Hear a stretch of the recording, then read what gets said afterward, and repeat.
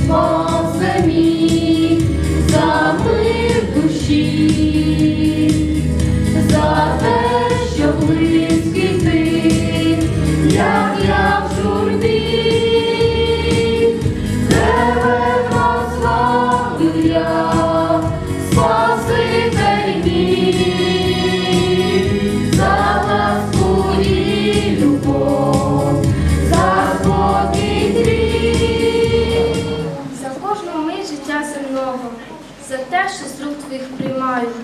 Тебе, Господь, від серця всього, я вдячним співом величаю.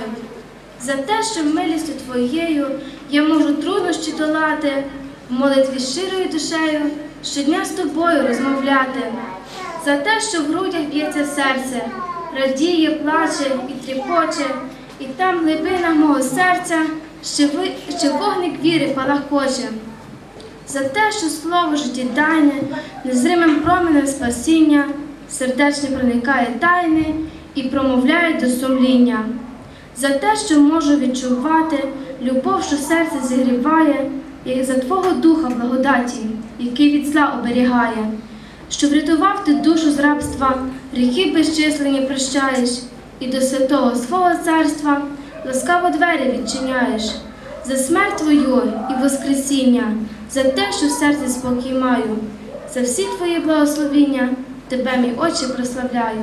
Амінь. Амінь. Самі розумієте, Бог, коли виводив народ із Єгипту, чи він бажав погубити його там у пустині, чи він бажав його ну, знищити там, чи щось йому зробити погано? Ніяк. Бог хотів наоборот дати землю обіцяну, землю обітовану народові своєму. Но написано, що вони не зрозуміли волі Божої до себе в своєму житті. І не прийняли всього того добра, яке Бог зробив для них, і тому вони там і загинули. Бог їх бажав туди довести. Бог їх хотів довести, але вони не зрозуміли правильно Бога. Замість того, щоб подякувати Богові, вони почали йому дорікати. Вони почали говорити погано на Бога і казати, що Бог вивів нас для того, щоб нас погубити у тій пустині. І ви знаєте, Богові неприємно було слухати. Ви знаєте, от приємно батькам слухати, коли вони роблять дітям добро, бажають дати їм все найкраще у цьому житті. А діти можуть прийти до тата і з мамою і сказати. «Е, Ми не задоволені вами, ви не такі, як є, ви нас не любите, або там ще якісь погані слова говорити. Звичайно, неприємно батькам. Нам неприємно, якщо б діти нам таке говорили, коли ми їм бажаємо добра, тим більше і Богові. Неприємно слухати, коли замість подяки, хвали в його сторону звучить нарікання, звучить ропот, звучить незадоволення. Хай Господь береже, і нехай в наших серцях завжди буде йому хвала. У Луки, 18 розділі, 12 вірш написані такі слова. Йдучи до Єрусалима, він проходив між Самарією та Галилеєю. І коли входив він в одне село, зустріли його десять чоловік прокажених, які зупинилися віддалік, і вони гучним голосом говорили: Ісусе, наставнику, помилуй нас. Побачивши, побачивши їх, він сказав їм: підіть, покажіться священникам. І коли вони йшли, очистилися, один же з них, побачивши, що зцілився, повернувся гучним голосом, прославляючи Бога, і припав лицем до ніг Його, Ісуса, віддаючи йому хвалу. І це був самарянин. Тоді Ісус сказав, чи не десять очистились, де ж дев'ять? Чому вони не повернулися віддати славу Богові, тільки іноплемінник цей? І сказав йому: Встань, іди, віра твоя спасла тебе. От оця притча нас учить. Е, Було дев'ять, які не захотіли подякувати Богу. Ви знаєте, вони були прокажені, з ними ніякої справи ніхто не міг не хотів мати. Вони повинні по вулицях були ходити і кричати: Я прокажений, не доторкайтеся на відстані від людей. Вони були от оцим отреб'єм, е, отбросками того общества, в якому вони були, і вони томилися в цьому. І тут вони побачили Ісуса. І вони побачили спасіння, і вони подумали, є надія, що ми будемо здорові. І вони почали просити, щоб Господь їх ісцелив. І Господь каже: ідіть, покажіться священникам. І по дорозі вони йшли і очистилися. Напевно, що радості у них було дуже багато. Що ця проказа люта, яка от налягає на людину, зайшла і з ним не радувалися. Але ви знаєте, із тих десяти лише один догадався, що треба все ж таки прийти та й подякувати Господу, що Він це зробив для нього. І він прийшов до Ісуса і каже, е, і починає прославляти Бога, хвалити Його, славити. А Ісус дивиться на нього, а замість десяти повернувся тільки один.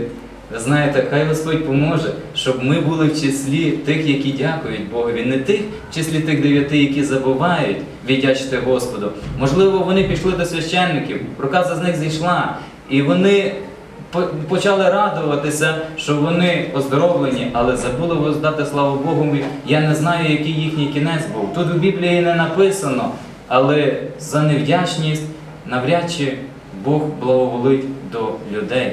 Бог робить много добра, і Він, в свою чергу, хоче від нас почути оту цю хвалу, просту хвалу, подяку в серці за те, що Бог нам робить добро. Хочу ще деякі місця зачитати із Слова Господнього. Нехай Господь поможе, благословить. І хочу перше Фесалонікійців, там є такий короткий вірш, але він дуже багато говорить. Перше послання до Солонян, 5 розділ, 18 вірш. За все дякуйте Богові. Дуже просто. У житті нашому, що у вас є? Якщо ви повірили в Бога, знаєте, в Римлянам написано, Павел каже, що все, що трапляється з дітьми Божими, трапляється їм во благо. І все, що у вас в житті трапляється, за все дякуйте Богові. Ніколи не ропчіть, за все дякуйте Богові. І далі написано слідуюче, бо така щодо вас воля Божа. Христі Ісусі. От ми молимося, Отче наш, нехай буде воля Твоя. Так от я сьогодні хочу нагадати, що воля Божа по відношенню щодо нас в Христі Ісусі за все дякувати нашому Господу. Нашому Господу. І в притчах 17 розділ, 13 вірш говориться такі слова. 17 розділ, 13 вірш. Хто за добро відплачує злом, від дому того не відійде що зло. Це от по відношенню щодо навіть і е, взаємовідносин між людьми. От буває, людина робить людині добро, старається щось їй допомогти. Ну, з усіх своїх зусиль думає, як би зробити добре, як би краще зробити, і робить добро людині у тому, щоб їй було добре.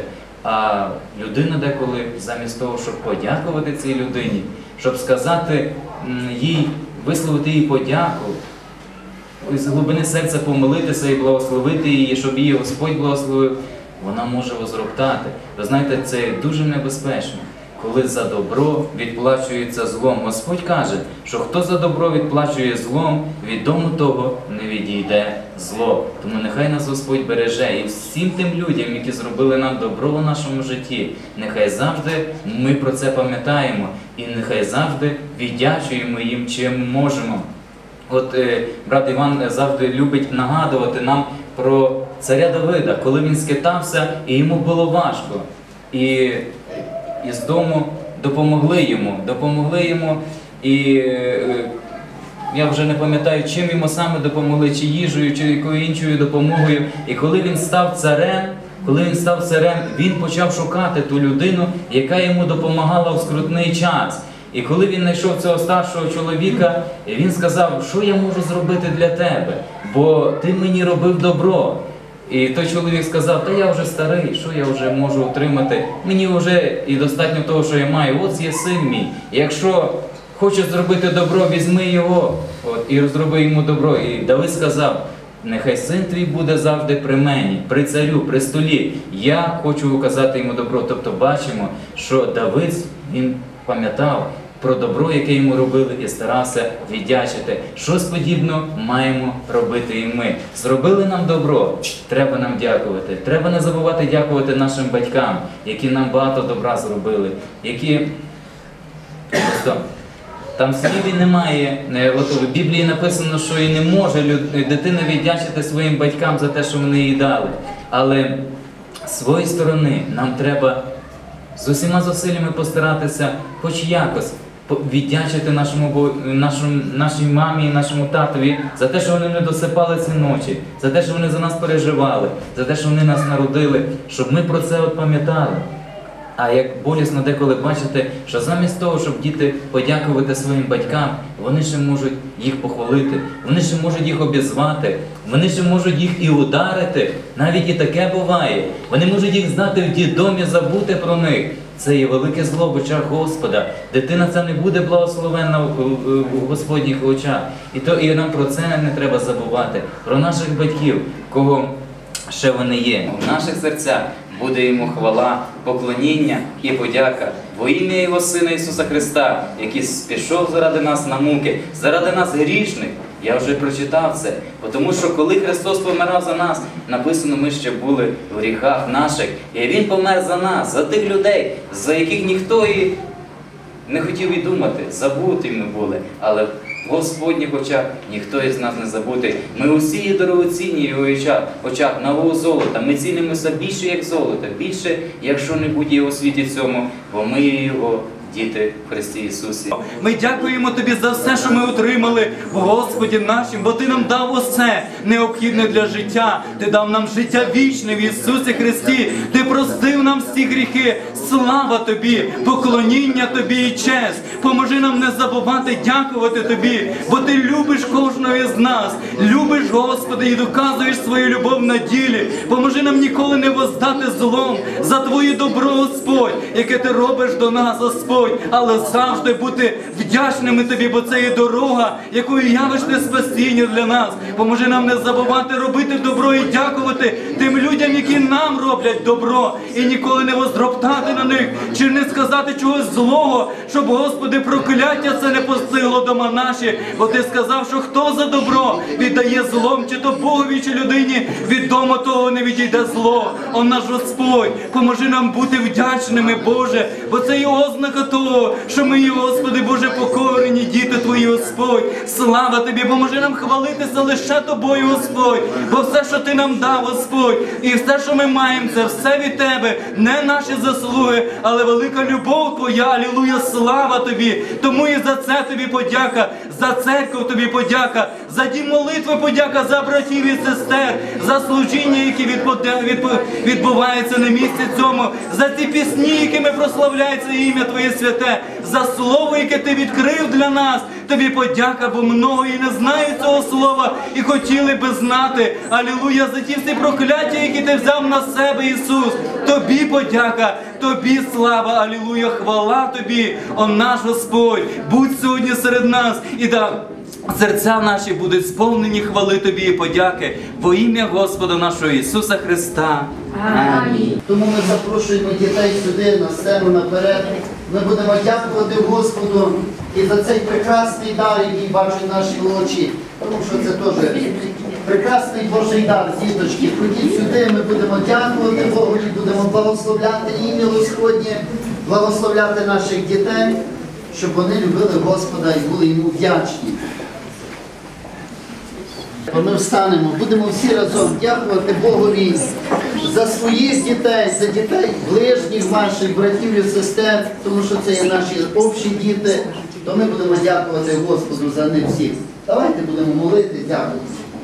Алілуя, хвала тобі, Господи, поможи Господь, щоб ті діти, Господь, виросли, Господи, Боже, діти благочестиві, які би, Господи, Боже, знали Тебе, любили Тебе, Господь, служили Тобі. О, алілуя, слава Тобі, наш Господь, Аволуче, благослови цих діточок, Господи, щоб вони не хворіли, Господь, у цей час. Допоможи їм, Господи, Боже, ходити путем правди, бережи їх, Господь, до кожної з них. Нехай 张嘴没有 Божий, да ополчається ангели твої. Навколо цих діточок, Господи, і да бережуть їх. Алілуя, хвала тобі, Господи Боже. Ми молимо Тебе, вибирай кожного із цих дітей, яких ти дав народові Твоєму собі на служіння, Господь, щоб вони служили Тобі у цьому житті, серед Господи, Боже, світу цього, щоб знаходилися, Господи, ревностними до Тебе, Господи, шукаючими лиця Твого, Алілуя, хвала Тобі, хвала Тобі, поклоніння. І слава у наш Господь.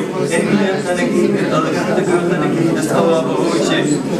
Боже святий, рікоді Сана поможи, щоб усі, Господи, Боже, ці діти, вони, Господи, Боже, унаслідували життя вічне, щоб ніхто із них не загинув, Господь, щоб ніхто із них не зійшов на дорогу неправди, щоб ніхто із них не став противником Твоїм, Боже, і холителем Твоїм, Боже, але щоб у їхніх устах і в їхньому разумі і серці завжди було, Господи, Боже, очі, бажання це, завжди було бажання служити Тобі, о наш Ісус Христос. Благослови дітей, як свого часу Ти благословляв, коли був на цій землі, коли діти приходили до Тебе, але апостоли, Господи, казали, що немає часу на те, щоб дітей вислуховувати, чи щоб мати з ними справу, але Ти сказав, пустіть дітей, не препятствуйте їм іти до мене, бо, Господи Боже, Ти, Господи Боже, полюб, любиш їх, Господь, і таких як царство Твоє, як і Ти тоді благословляв діточок. Ісус, благослови і сьогодні їх, Господь.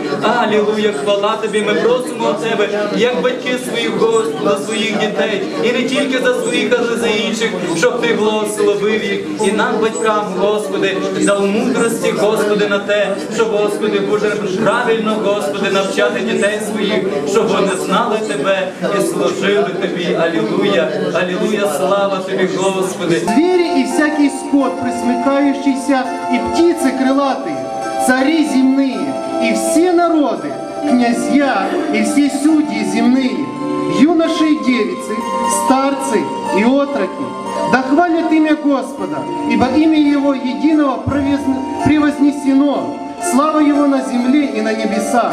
Он возвысил рог народа своего, славу всех святых своих сынов Израилевых, народа, близкого к Нему. Аллилуйя! Слава Господу!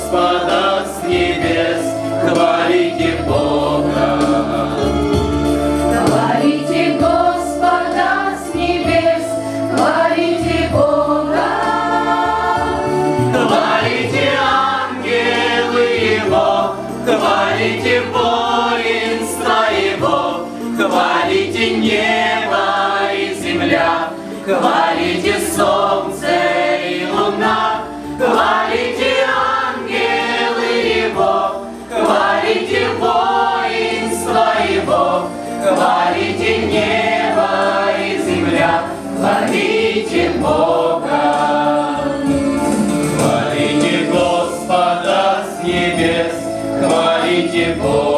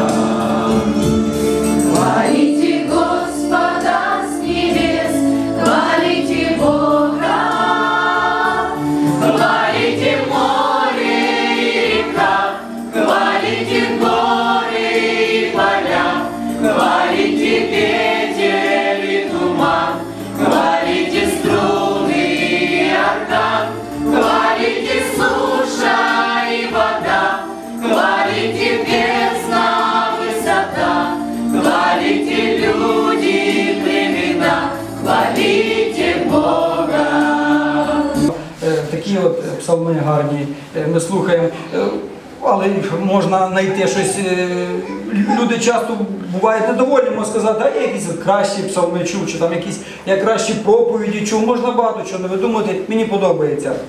Щиро кажу, мені подобається, як брати і сестри співають, як брати проповідують. Мені подобається.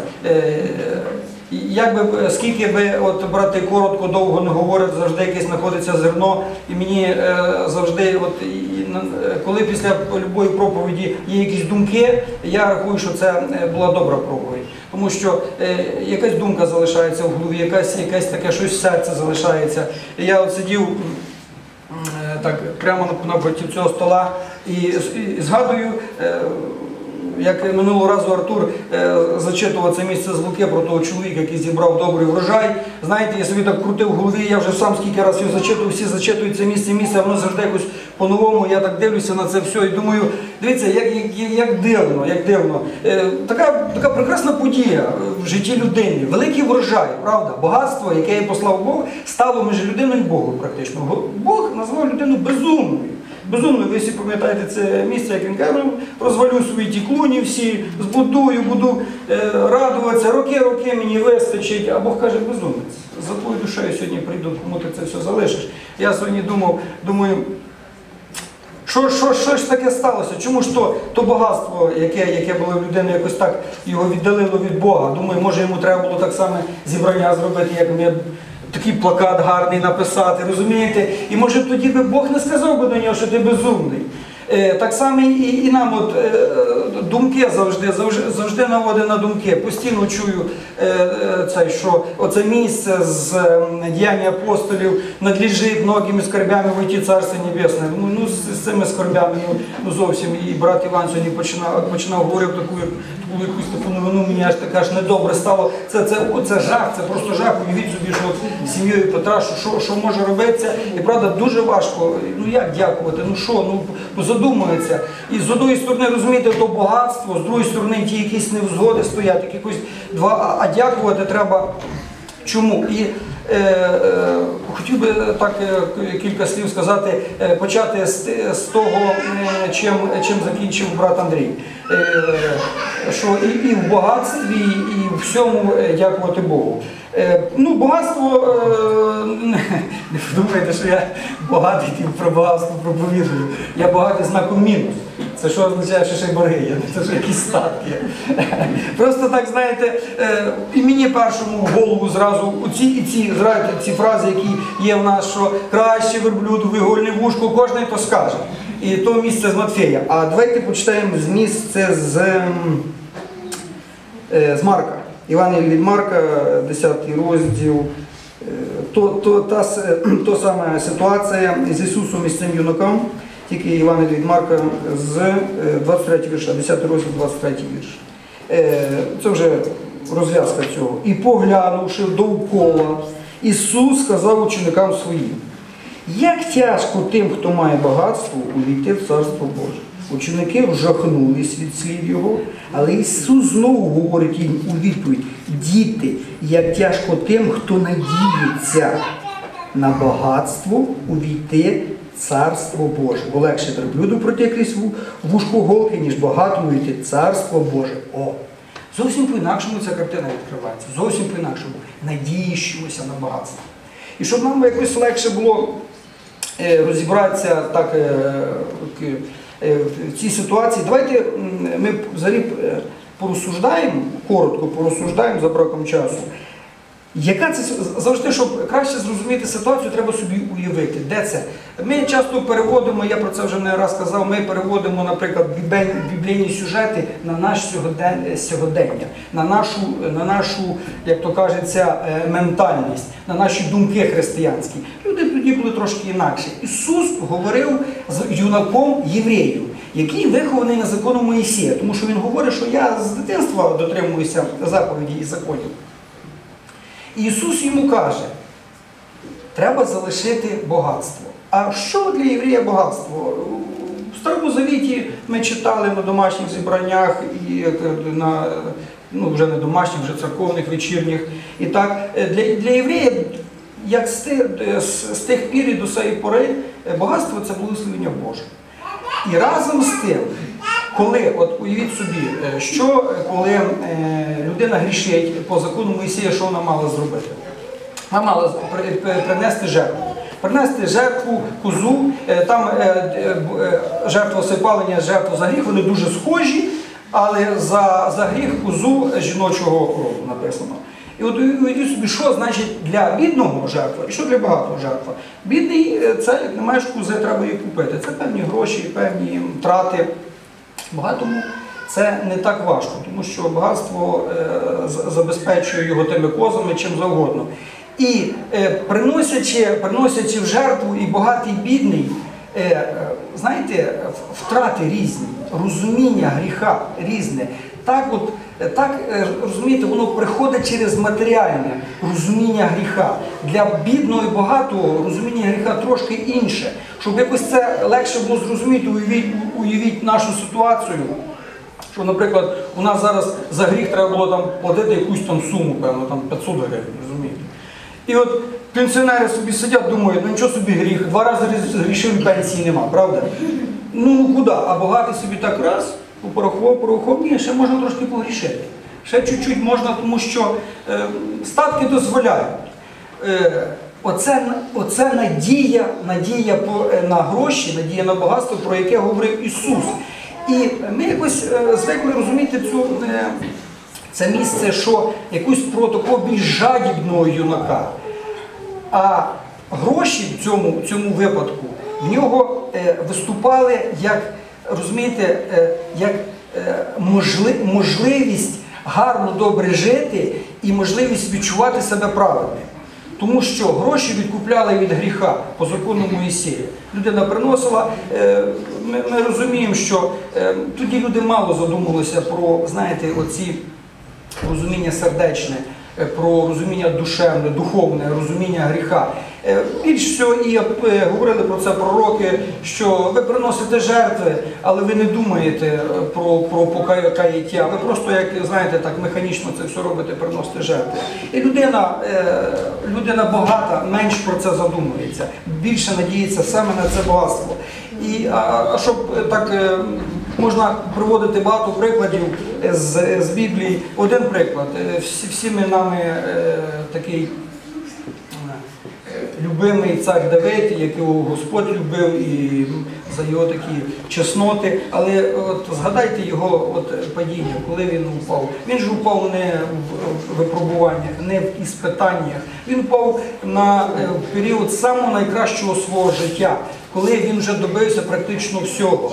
Е, Воїни саме більше закінчились. Він навіть сам не пішов на війну, що раніше завжди робив. Він послав воєначальників. Армія була вже навчена, солдати були навчені, люди його любили, багатство було при ньому, все було при ньому. І цей самий період, коли людина в такому стані, прекрасному, доброму стані, людина впала, розумієте?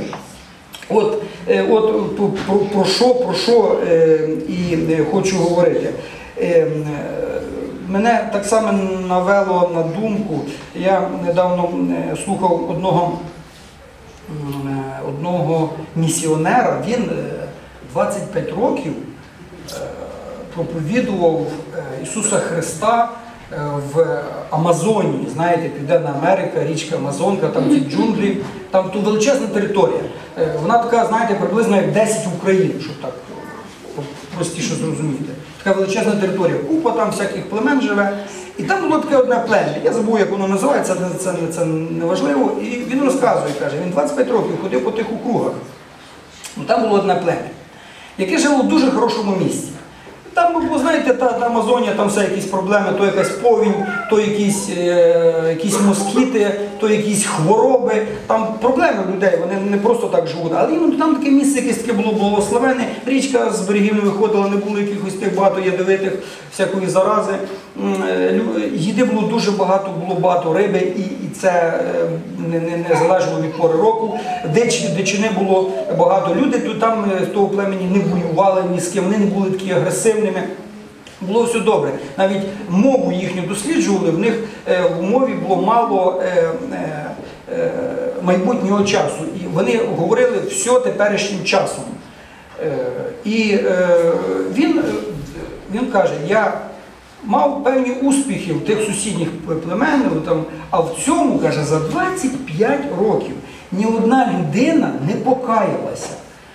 І я коли до них потім питав, говорив з ними, е, з тими старішинами, вони мені сказали, навіщо ти нам проповідуєш твого Бога, який нам дає е, в майбутньому житті радість і благоденствие. Ми цю радість і благоденствие маємо зараз.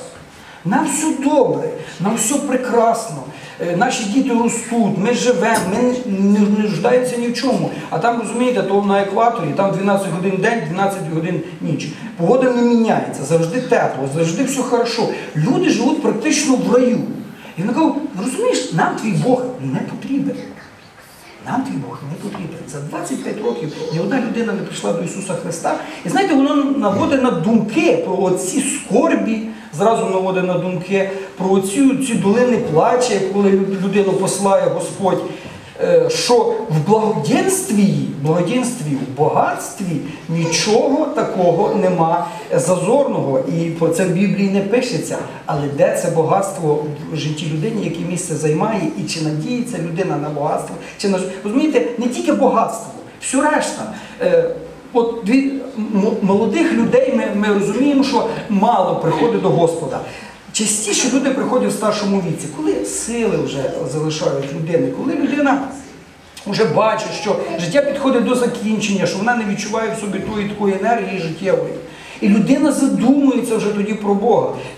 От я сам по собі, знаєте, е, було от літом, треба було там е, в машині дещо поремонтувати. І Проста елементарна робота, яку я закритими очами можу робити, але проблема є. Там треба рочкувати, а в мене проблема з спиною. Я собі думаю, я зараз полізу туди, воно мене бум торкне. Я звідти е, такої і робота закінчиться, і все закінчиться.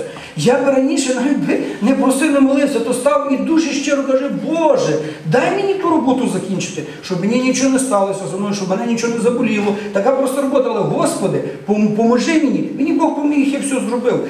Людина в немочах починає звертатися до Бога. Так, отак, отаке, е, таке, таке явище, яке ви всі знаєте. Тому що серце наше належить тільки Богу. Одному йому. Йому слава подяка, а вам благословіння по вікішні. Амінь. Помолимося. Ну яке то благо, що наш Бог милосердний. Як на цьому плакаті написано, дякуйте Богові, бо добрий бо він, бо навіки його милосердя. Я думаю, кожен в своєму житті пережив то. І він знає, що Бог милосердний.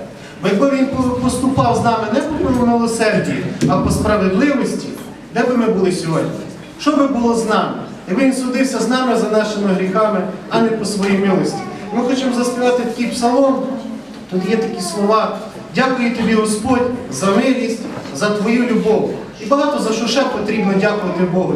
Ну, Одне з найбільше за що? Це за те, що Господь милосердний, за те, що Він нас любить, благословляє. За це йому завжди потрібно дякувати цим цінувати.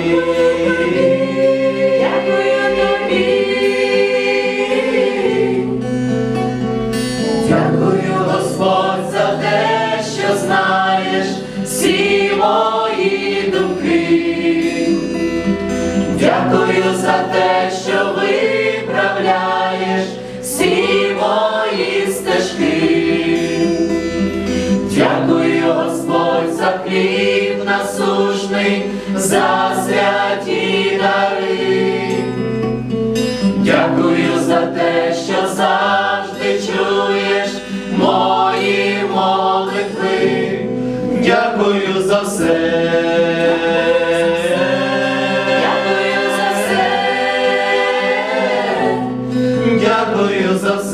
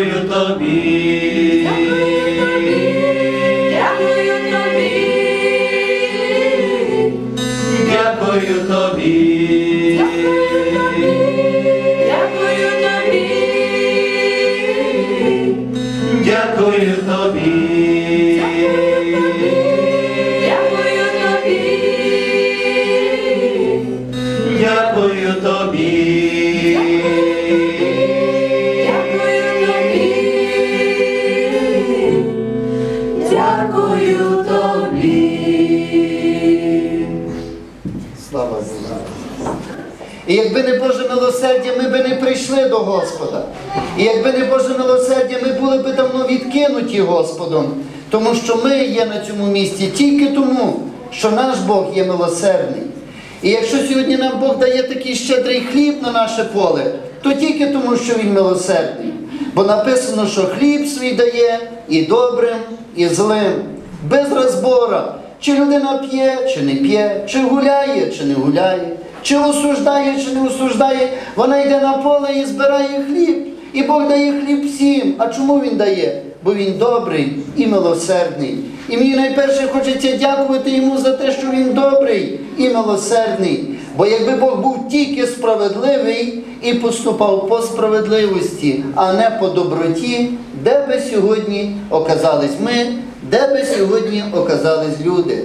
Бог є справедливий, але з нами Він поступає дуже-дуже часто, не по справедливості даже, а по великій своїй милості.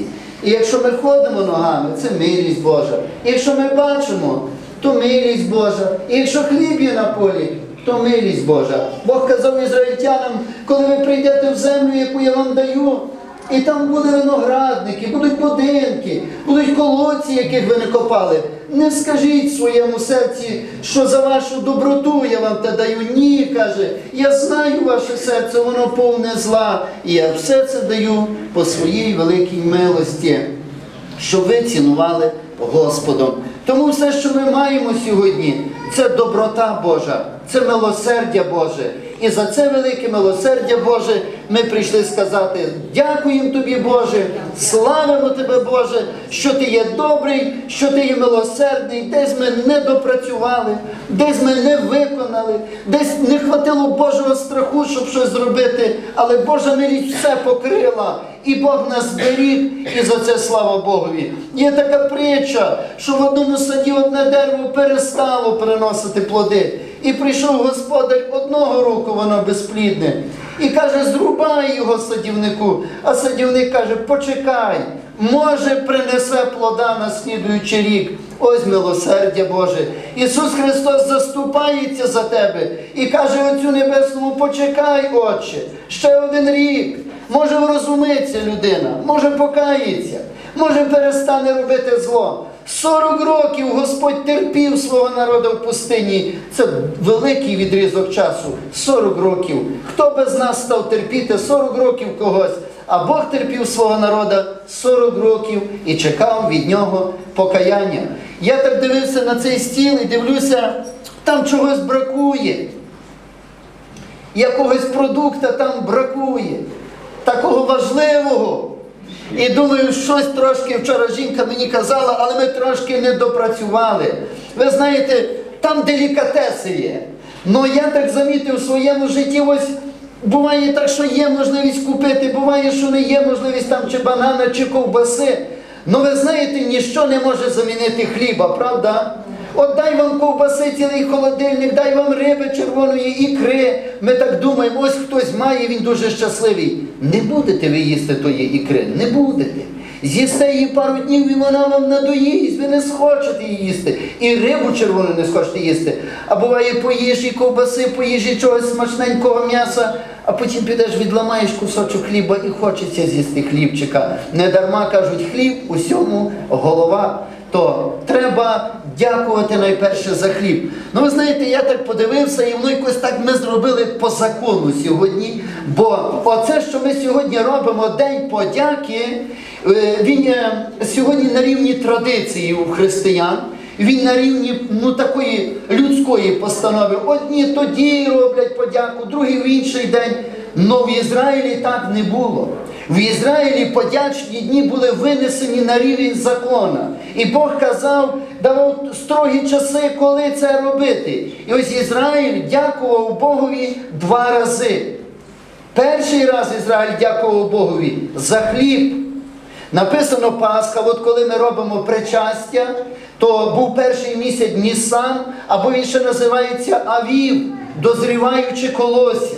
Колосся дозрівало, і 15-го Нісана був перший день свята, а 16-го Нісана брали перший сніп із поля і несли перед лице Господа, і дякували Богові, що поле вродило урожай. І Бог казав, до 16-го Нісана не можна їсти сирого хліба, оцього сирих зерен. Не можна збирати колоски. Не мав ніхто права з'їсти оцей кусок зерна до тих пір, поки він не візьме перший сніп і не принесе перед лице Господа і не подякує йому. А тоді могли збирати з поля 49 днів. І через 49 днів Бог об'являв і казав свято жнив. Вони збирали з поля хліб, приносили цей хлібчик ще раз перед лице Боже і дякували Господу за те, що Він їм дав урожай. Хочу замітити, що цей закон Бог дав під ізраїльський клімат і ізраїльському народу, бо люди сьогодні хочуть повторити це свято і виконати його то не в состоянні його виконати. Тому що перший сніп в кінці березня у нас не родить. і ми не маємо що принести перед Боже лице, і ми не маємо в червні ще зібраної пшениці з поля, і ми не зможемо подякувати Богу за пшеницю в червню, бо вона ще не буде зібрана. Но сам той принцип, який Бог дав через закон, сьогодні люди виконують, і слава Богу. Ну Ізраїль, я ще раз повторюю, він два рази збирався перед Боже лице. Перший раз він збирався на день п'ятидесятниці, дякував за пшеницю, а другий день, другий раз він збирався осени. 15-го дня 7-го місяця на свято кущів вже збирали делікатеси з поля і дякували Богу за делікатеси. То сьогодні ми за делікатеси дякуємо, а за хлібчик треба би було дякувати, коли його зберемо з поля. Ну, християни рішили все на купу одну зібрати і один раз в кінці року подякувати Богу. Слава Богу і за це, що християни хоча б так хочуть подякувати Богові, бо Ізраїль робив два рази в році, дякував за хліб, а потім за остальне, що зібрав з поля. То дав Бог дощ ранній, і поле вродило, і дало хліб. А тепер церква повинна просити Бога, щоб дав Бог дощ пізній, і щоб на другий рік знов народ Божий зібрав урожай з поля. Сьогодні в нас є день подяки. Скажіть, дорога церква, ви є вдячні Богові? У вашому серці є подяка?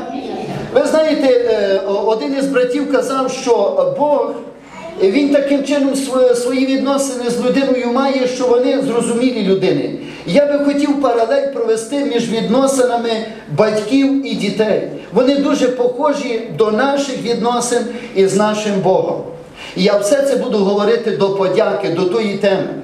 Приходить день, коли дитинка народжується. Вона абсолютно нічого не може робити для своїх батьків. Вся е, доброта вона здійснюється в односторонньому порядку. Та маленька дитина собі не може дати ради ні в чому. Вона безпорадна.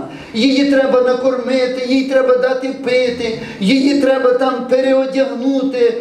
Їй треба все дати. Вона батькам абсолютно нічого не може дати, бо вона маленька. Но потім дитинка починає рости. Вона стає більшою і більшою. І коли вона стає трошки більшою, батьки вже її просять щось трошки зробити. Вони її просять, дитиночко, зроби таке. Поможи мені дитину зроби таке. Так само буває в нашому житті по відношенню до Бога. Коли нас Бог знайшов у світі і Він нас привів до себе, Він від нас нічого ще не хотів. Від нас не можна було щось хотіти, бо ми були непридатні щось для нього робити. Вся доброта Божа в односторонньому порядку до нас здійснює. Він нас одягає, він нас кормить. Но потім людина з роками трошки духовно починає підростати. І ось Господь до неї звертається е, з маленькими проханнями, щоб людина отаке зробила, щоб таке зробила. І людина повинна бути до того дуже уважна. Скажіть, ось коли ваші діти підростають, батьки, що би ви хотіли від своїх дітей в першу чергу? Для того, щоб зрозуміти, що Бог хоче від людини, то ми мусимо на, якби на прикладі нашому і дітей зрозуміти, що би ви, батьки, хотіли в першу чергу від своїх дітей. Наталя, що би ти хотіла в першу чергу? Послуг, ви погодитеся з тим. Ви знаєте, послуг є на першому місці. Любий батько з тим згодиться. Він не хоче від тої дитини нічого. Вона йому нічого не може дати. Він її кормить і збирає ті гроші, би її вивчити, би її викормити, би її добре одягнути, би їй дати. Неля, ти заробляєш на себе. От вона гарно одіта, сумочку має файну, чоботи має гарні. Якби ви в її шафу подивилися, там є переодягнутися, я навіть не знаю скільки раз. Хто їй то дав? Батьки, вона сама не може ще заробити на себе. І все, що від неї батьки хочуть, вони в неї вкладають все. Вони кажуть, дитину, все, що ми від тебе хочемо, щоб ти була послушна. Так тобі кажуть батьки. Все, вони більше не хочуть. Вони хочуть послуху. Так само Бог. Йому від нас нічого не потрібно. Скажіть, що ми можемо дати Богу? Він нам дав виноград, він нам дав банани, він нам дав хліб. Що ти можеш дати Богові? В 49-му псалмі написано, Бог казав, чи я п'ю кров волів, чи я оці жертви їм, чи вони мені потрібні, чи не вони мені не належать. чи всі ці оці воли, оці вівці, ці кози на полях, Бог казав, вони належать мені, вони мої. Я б у тебе нічого не просив, я від тебе нічого не хочу. Все, що Бог завжди хотів від людини, щоб вона його слухала, щоб вона була йому послушна. І ось ви прийшли сьогодні День подяки. Люди часто дякують Богу, співають йому пісні, несуть йому гроші і ставлять в корзину.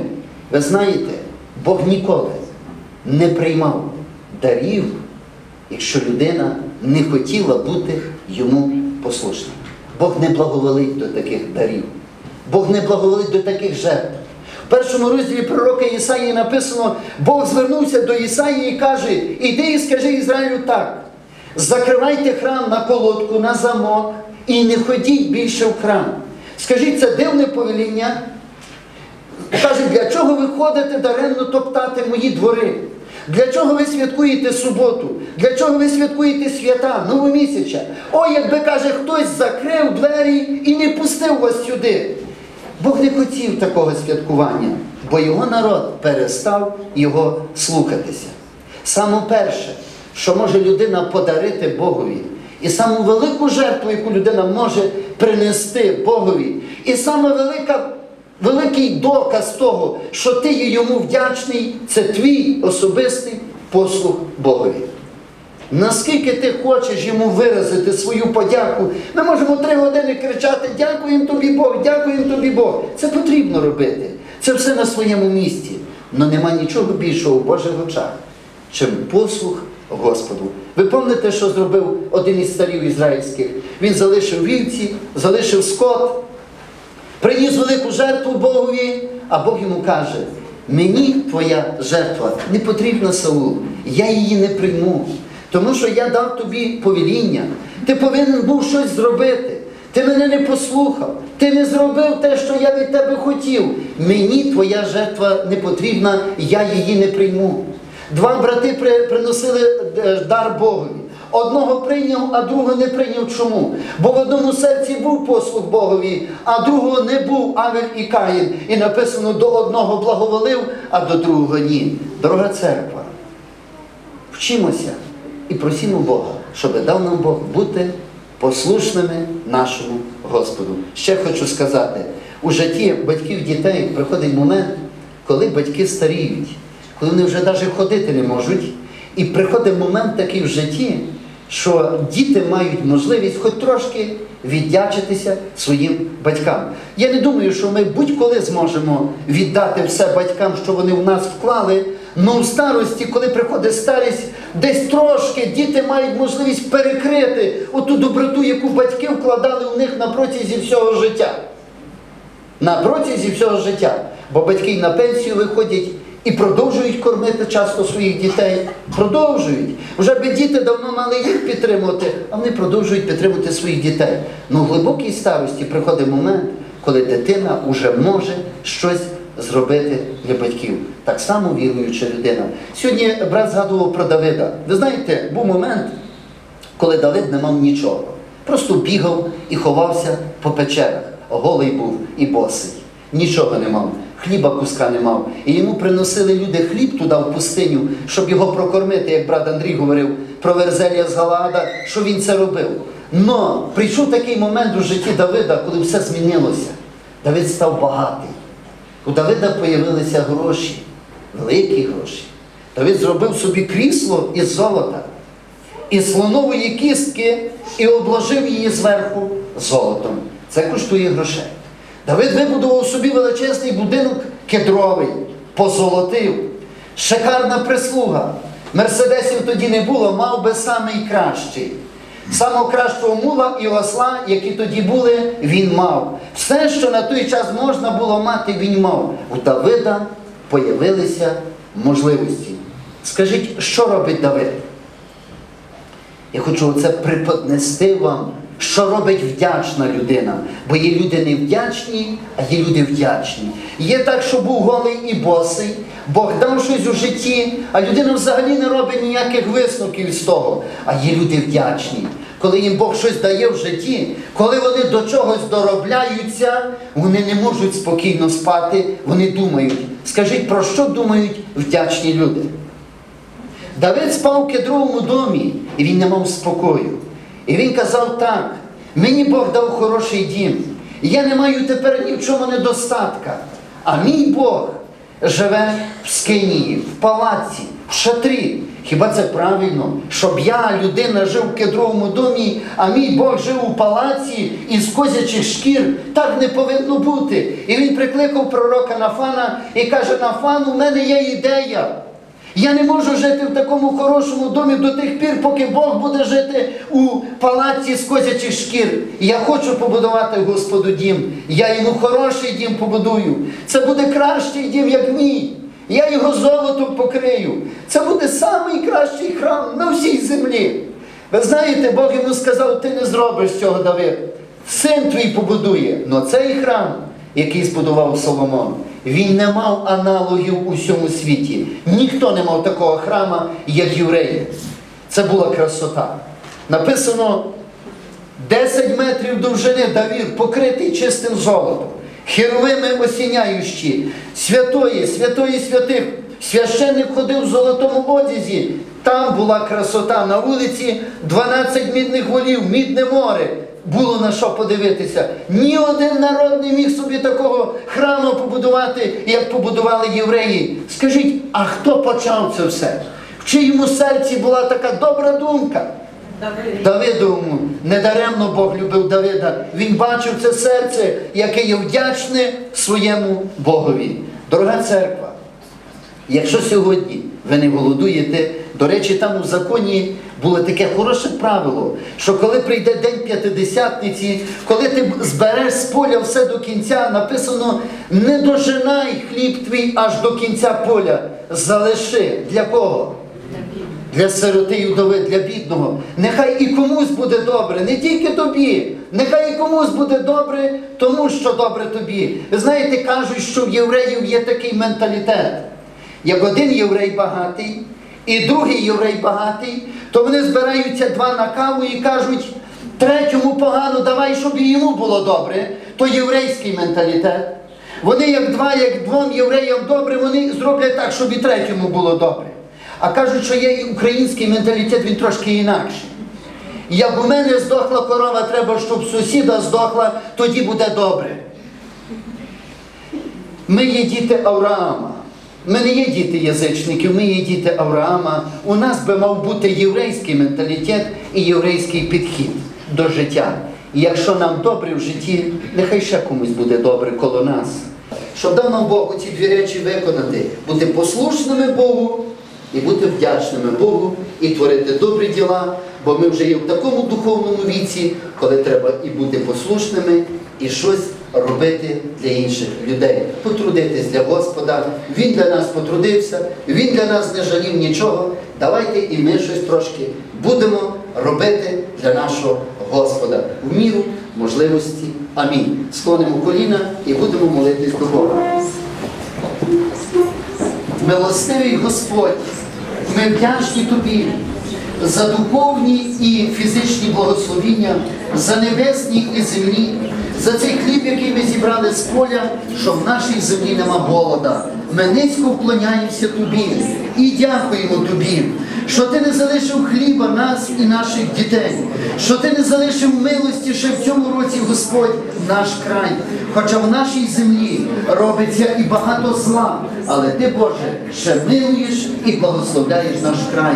Ми вдячні Тобі, ми благословляємо Тебе, ми величаємо ім'я Твоє, святе наш Бог, за те, що милість Твоя не віднята від наших домів, від наших сімей і від нашого краю, і від нашого міста. Слава Тобі, наш Бог! Боже наш!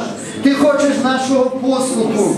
Даруй нам Божого страху, щоб ми в послусі ходили перед лицем Твоїм, щоб ми були вдячні Тобі, як Давид, щоб ми робили добро в ім'я Твоє, робили добро сироті і вдові, робили добро тому, хто нуждається в ньому, робили добро, Господь, на ниві Твоїй, старались щось зробити для Ісуса Христа, проповідували про Тебе, говорили, який ти добрий і милостивий тим людям, які ще сьогодні не пізнали Тебе.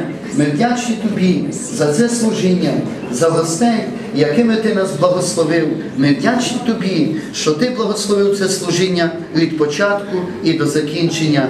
Благослови Боже, коли народ твій буде розходитись по домах, бережи в дорозі від аварій, від нещасть, від лукавого, від злих людей, від усякого зла.